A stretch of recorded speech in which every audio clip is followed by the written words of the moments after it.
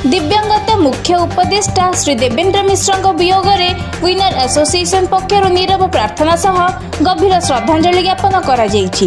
ଆସୋସିଏସନର ପ୍ରତ୍ୟେକ ଛୋଟ ଓ ବଡ଼ କାମରେ ଯୋଗ ଦେଇ ପିଲାମାନଙ୍କୁ ସର୍ବଦା ଉତ୍ସାହିତ କରୁଥିଲେ। ଅନୁଷ୍ଠାନର ମୁରବୀଙ୍କ ବିୟୋଗରେ ଆସୋସିଏସନର ପ୍ରତ୍ୟେକ ସଦସ୍ୟମାନଙ୍କ ଭିତରେ ଦୁଃଖର ଛାୟା ଖେଳିଯାଇଛି।